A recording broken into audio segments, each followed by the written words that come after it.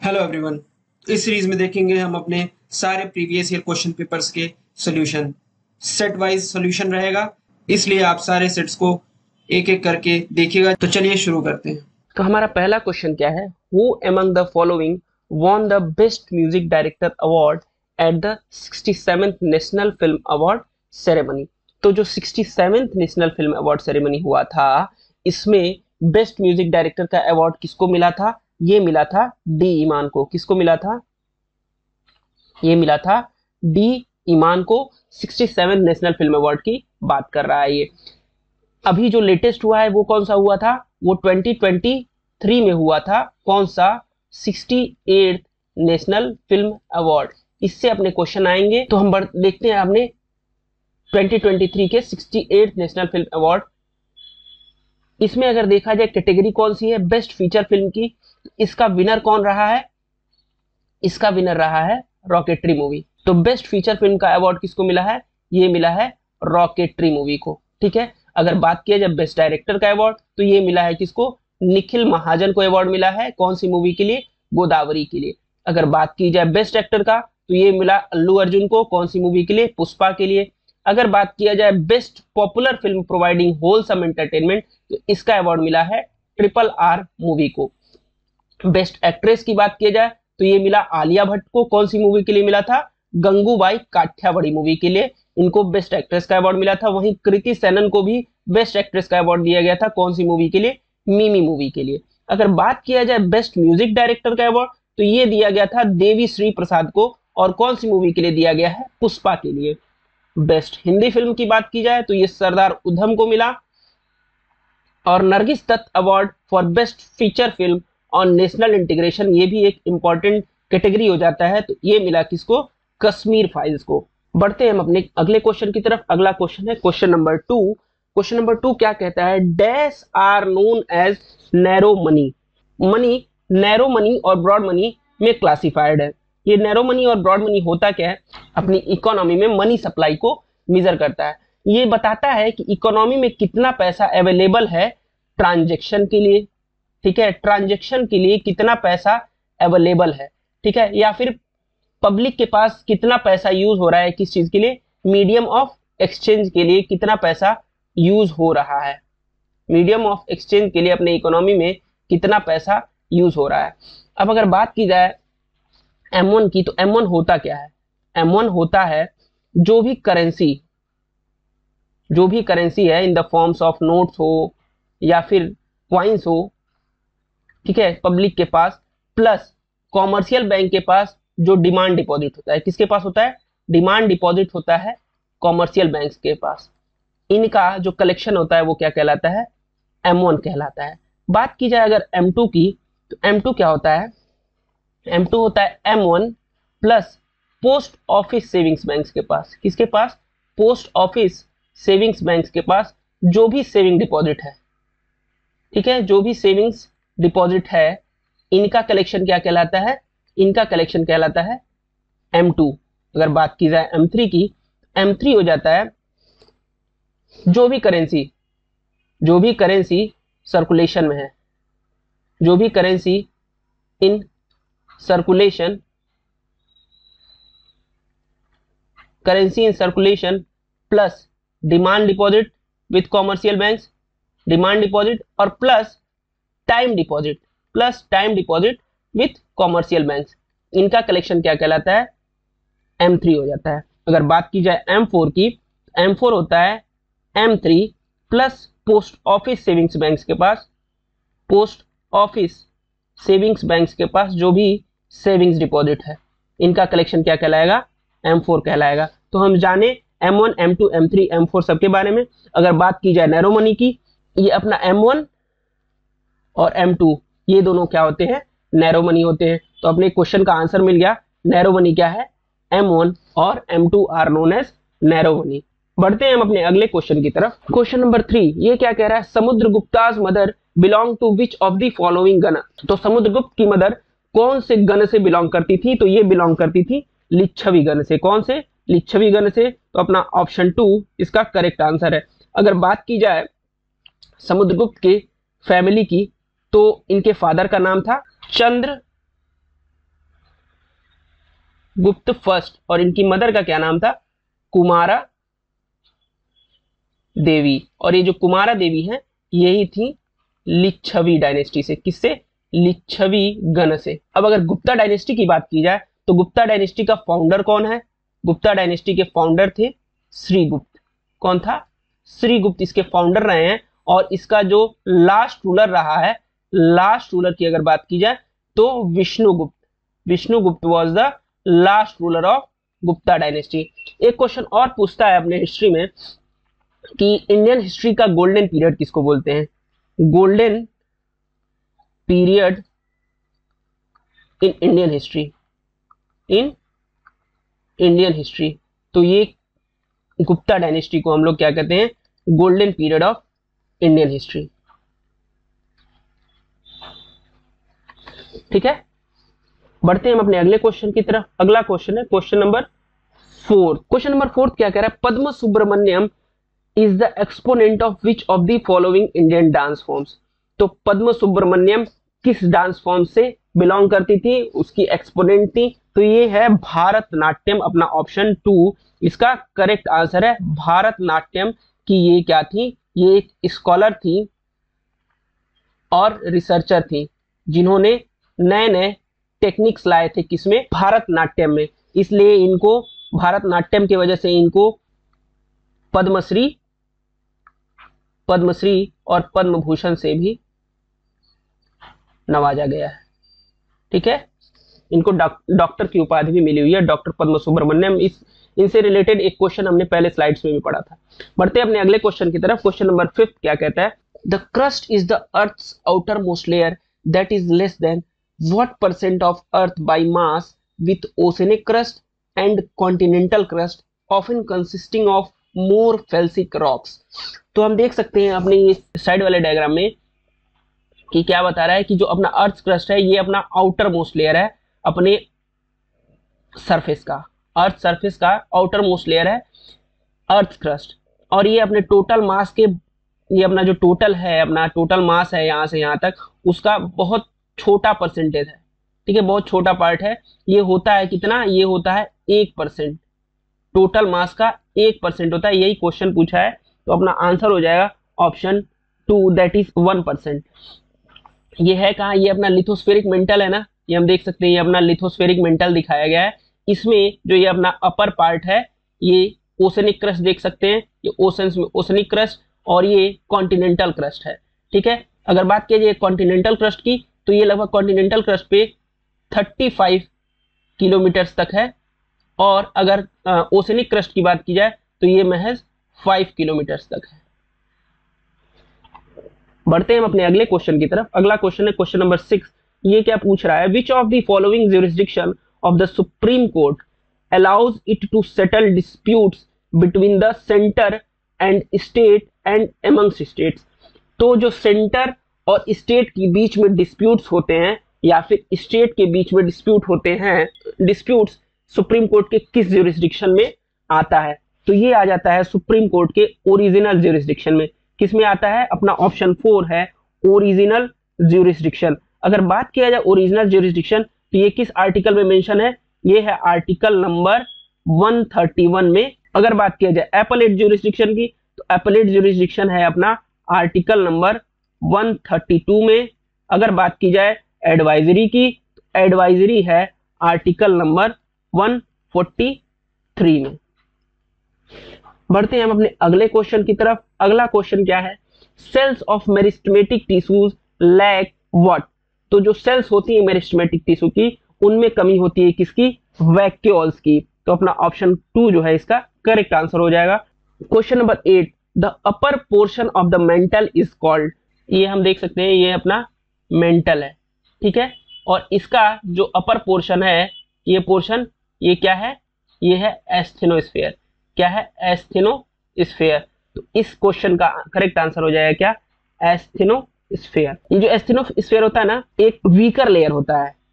देख सकते एक वीकर लेयर होता है, किसके नीचे होता है अगर बात की जाए तो ये अपना लिथोस्फेरिक मेंटल जो है, ये अपना लिथोस्फेरिक मेंटल है, उसके नीचे अपना ये होता है एस्थेनोस्फियर। ठीक है? अगला क्वेश्चन है क्वेश्चन नंबर नाइन ये क्या कह रहा है? गुरु पूर्णिमा a festival celebrated by Hindus, Jains and Buddhists in India falls in which month of Hindu calendar? तो जो गुरु गुरु पूर्णिमा है जो हिंदू सेलिब्रेट करते हैं Hindu Jain and Buddhist celebrate करते हैं वो इंडियन कैलेंडर में कौन से मंथ में आता है? तो ये आता है अषाढ़ में। अपना ऑप्शन फोर इसका करेक्ट आंसर हो जाएगा अषाढ़ अगर बात की जाए अषाढ़ की तो ये ग्रिगोरियन कैलेंडर में कौन से मंथ में आएगा? मई, जून में या जून, जुलाई में?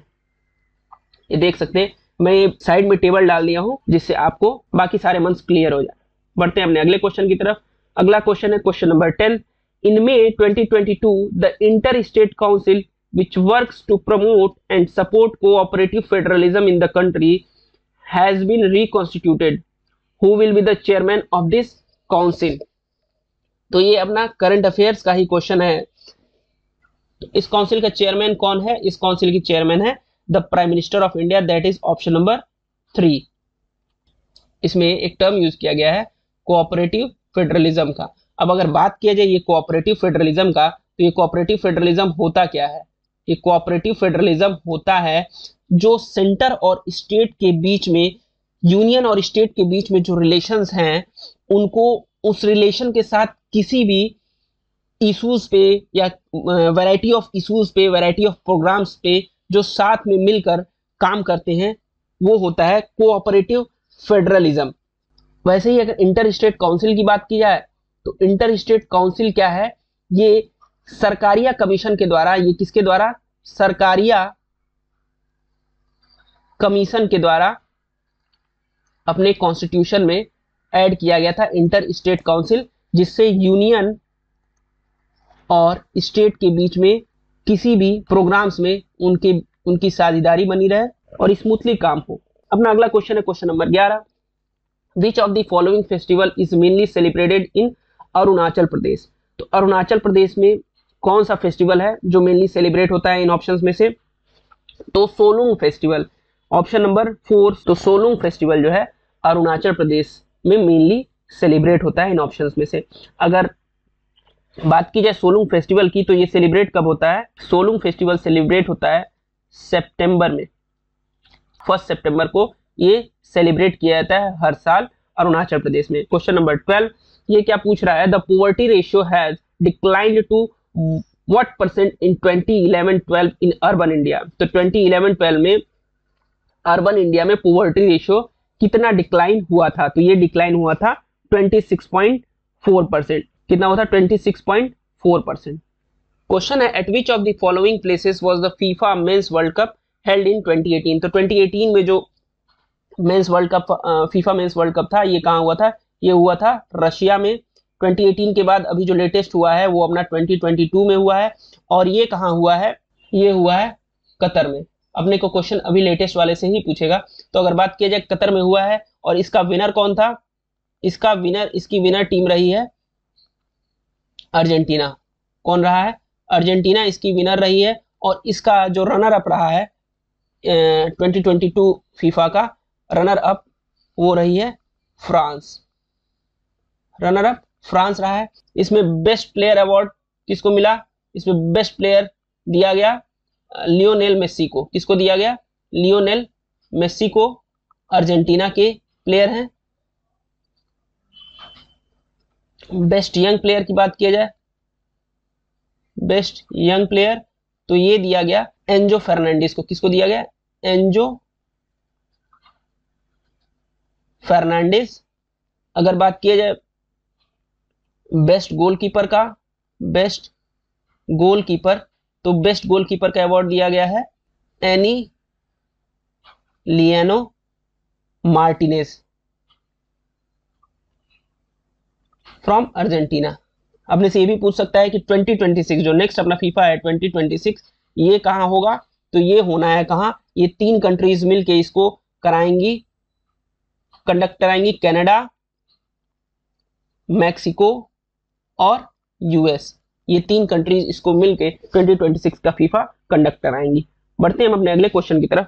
अगला क्वेश्चन है क्वेश्चन नंबर 14 क्या कह रहा है? In which year James Mill published a massive three volume work a history of British India तो कौन से ईयर में जेम्स मिल ने a history of British India publish किया था?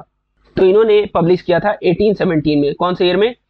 1817 में जेम्स मिल ने a history of British India publish किया था। इसका इंपॉर्टेंस क्यों है इतना? इसका इंपॉर्टेंस इसलिए है कि ये जो इन्होंने पीरियडाइजेशन किया था ना, जो अपने इंडियन हिस्ट्री का पीरियडाइजेशन किया था हिस्ट्री का जो पीरियडाइजेशन किया था, वो क्या है? ये वाइडली एक्सेप्ट किया गया है। वाइडली एक्सेप्टेड है। इसलिए इसका इंपॉर्टेंस हो जाता है।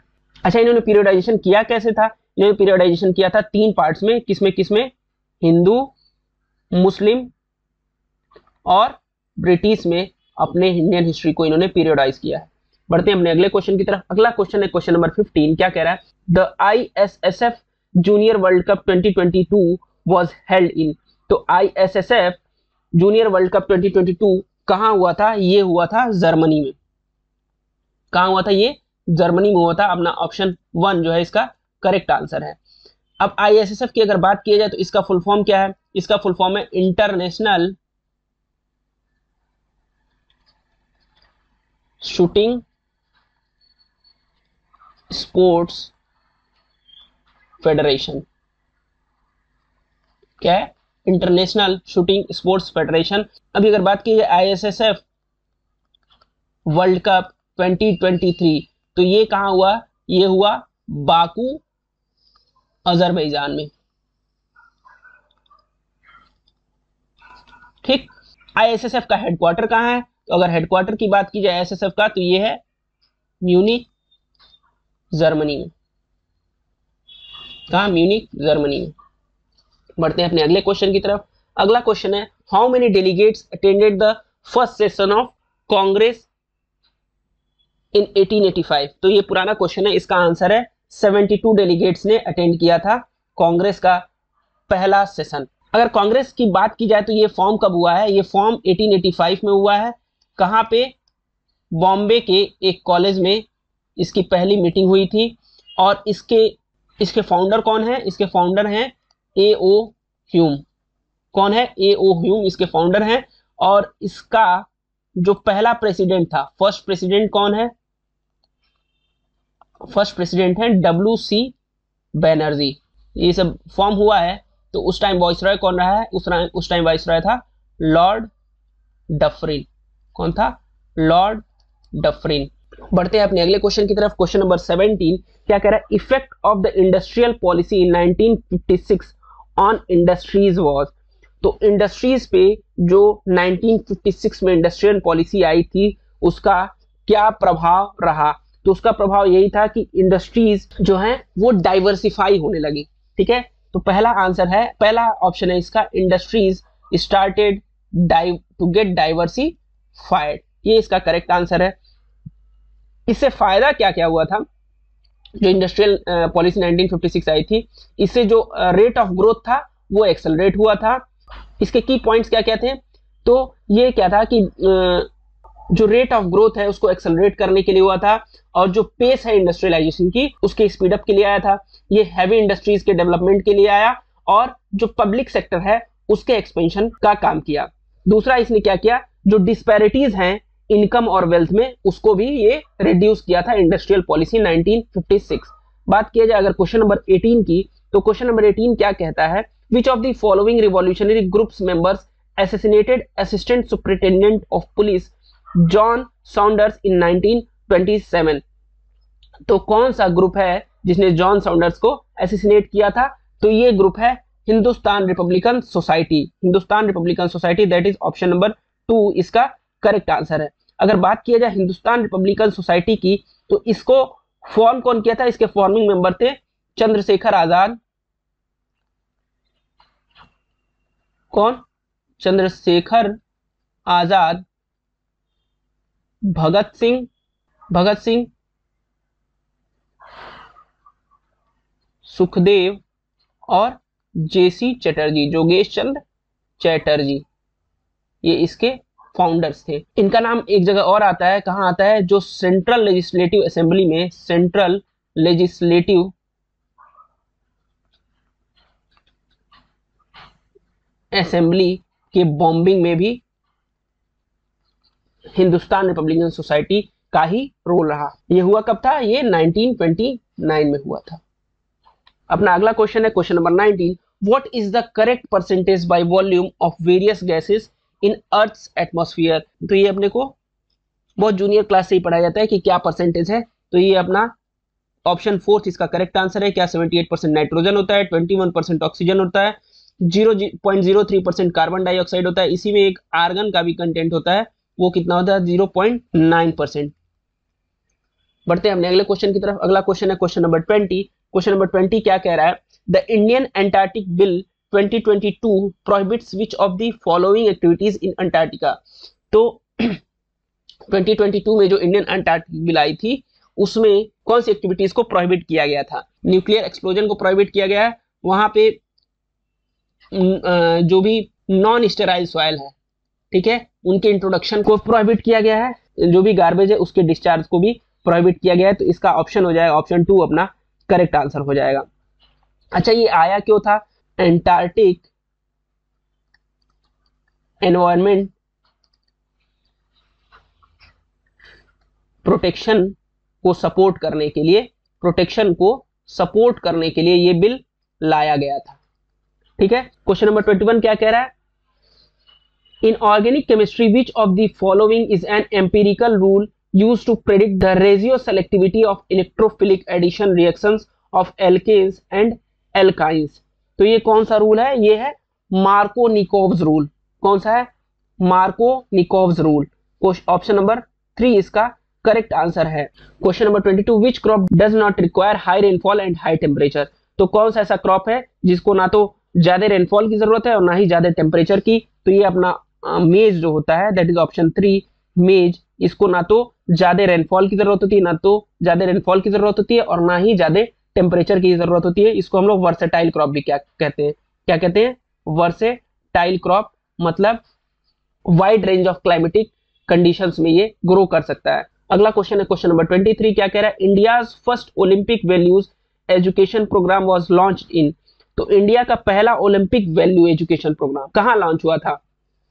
तो इंडिया का पहला Olympic value education programme launch हुआ था उड़ीसा में। ठीक है? ये लॉन्च कब हुआ है? ये रिसेंटली लॉन्च हुआ है 2019 में, ठीक है?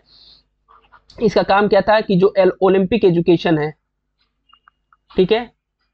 ओलंपिक एजुकेशन है, इसको इनकलकेट करने के लिए किसमें स्कूल गोइंग स्कूल गोइंग जो चिल्ड्रेंस हैं, उनमें ओलंपिक एजुकेशन को इनकलकेट करने के लिए ये प्रोग्राम लाया गया था। अपने पेपर्स में गवर्नर और सीएम का नाम स्टेट के गवर्नर और सीएम का नाम भी इंपॉर्टेंट पड़ जाता है। तो अगर उत्तर प्रदेश की बात की है तो उत्तर प्रदेश में कोई चेंज नहीं है, बताने की ज़रूरत नहीं है। अभी रिसेंटली चुनाव हुआ और चेंज हुआ कहाँ पे? उड़ीसा में। तो उड़ीसा के नए सीएम कौन है? उड़ीसा के नए सीएम है मोहन सिंह मोहन सिंह माझी। ठीक है? ये उड़ीसा के सीएम है और यहाँ के रघुवर दास जो है रघुवर दास यहाँ के गवर्नर है। अगर बात की जाए हरियाणा की तो हरियाणा में भी अभी चुनाव हुआ था और यहाँ के नए जो सीएम बने हैं वो कौन है? नायब सिंह सैनी और यहाँ के जो गवर्नर है वो कौन है? बंदारू दत्तात्रेय। पंजाब का मालूम है, पंजाब के जो सीएम है वो कौन है? भगवंत मान। और यहाँ का गवर्नर कौन है? यहाँ के गवर्नर है बनवारी लाल पुरोहित। बनवारी लाल पुरोहित। बढ़ते हैं अपने अगले क्वेश्चन की तरफ़। अगला क्वेश्चन है क्वेश्चन नंबर ट्वेंटी फोर ये क्या कह रहा है? According to article fifty one A of the constitution of India it shall be the duty of every Indian citizen to abide by the dash and respect its ideas and institution तो इसका answer क्या हो जाएगा? Constitution option one ठीक है?